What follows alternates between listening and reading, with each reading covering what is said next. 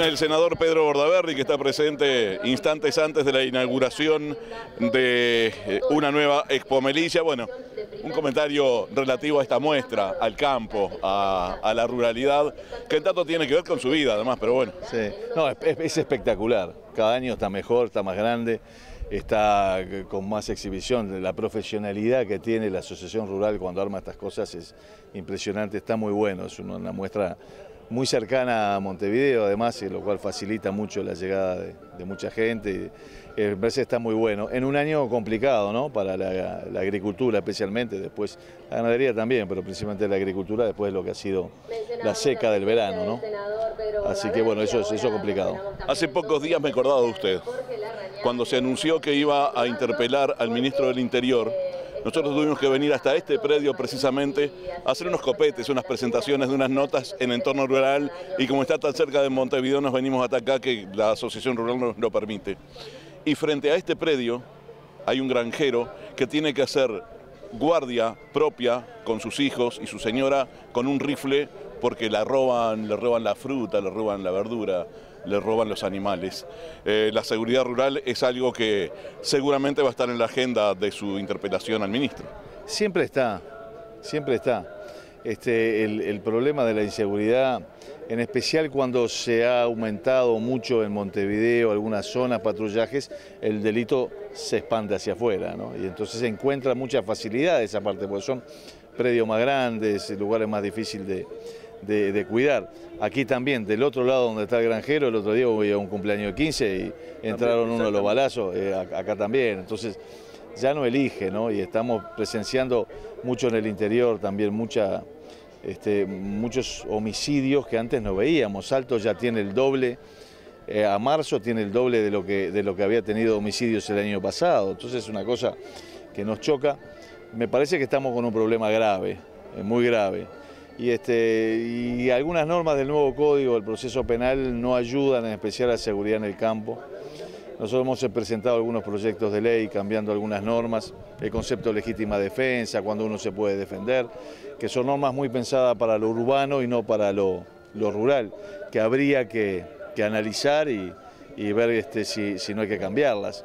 Hay mucho para hacer y obviamente que lamentablemente, si bien el delito se concentra en la zona metropolitana, porque donde hay más gente, eh, se ha expandido a todo el país, lamentablemente. Eh, esos homicidios tienen varios perfiles, ¿verdad? Algunos son en el interior de, las propias fincas donde hay eh, violencia familiar, donde hay femicidios, en fin. Y el presidente ha dicho en las últimas horas que no puede poner un policía en cada una de esas casas, pero también ha dicho que el ministro del Interior ha actuado bien. ¿Cuál es su visión respecto a esto? Ahí el presidente actúa con picardía política.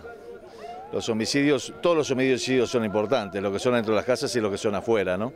Pero lo que son dentro de las casas son 13%. Del otro 90, del 87 no habla el presidente. Y lo que más ha aumentado es lo otro, ¿no? Ahí el 45% de los delitos son por peleas, luchas entre delincuentes y el ministro y el presidente dicen, bueno, son luchas entre delincuentes. Porque ha crecido la delincuencia, seguramente. Pero aparte, ¿y que tenemos que permitir que se mate la gente? Porque el que dice, bueno, si me peleo con el otro puedo meterle un balazo, de repente cuando te va a robar a vos, me va a robar a mí, dice, a este también le puedo meter un balazo. No elige. Entonces ahí, ahí este, hay que dejarse de explicar. Cuando uno escucha a Bonomi o escucha a Vázquez, dice, esto se explica en lo que está pasando. No, fue un ajuste de cuenta, no, pasa dentro de la casa. No, no, ellos son el poder ejecutivo no el poder explicativo.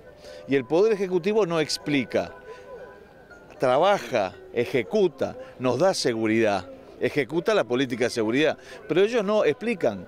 Y entonces se creen que explicando no, y yo digo, pero se explican tampoco que es peor. No, hagan cosas, defiéndanos, eso es lo que tienen que hacer. No explicarnos, que nos dice, es un ajuste de cuenta, nos dice un día. Otro día es una guerra, otro día dice, no, pero mire qué pasa dentro de la casa. Yo entiendo, pero ellos tienen que pararlo, ese es su trabajo, ¿no? No le quiero quitar revoluciones a su llamado a sala, pero seguramente no va a tener los votos para pedirle al ministro que se vaya. Se tiene que ir, de cualquier modo. El otro día eh, también el presidente dijo que, no, que la solución no era con que se fuera el ministro.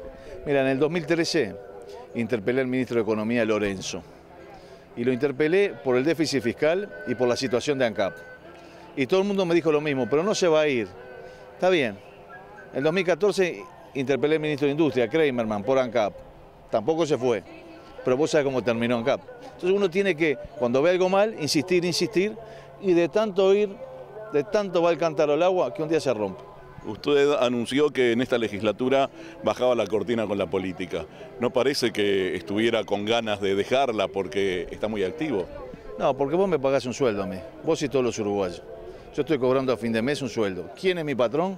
Vos, todos los uruguayos que me pagan. No es ni Topolanqui ni Tabaré Vázquez, sos vos. Entonces, hasta el día que me pagues, 15 de febrero del 2020, me vas a ver con muchas ganas trabajando. Pero, eh, ¿reconfirmás que te vas eh, el último día de esta legislatura? Sí, el 15 de febrero del 2020.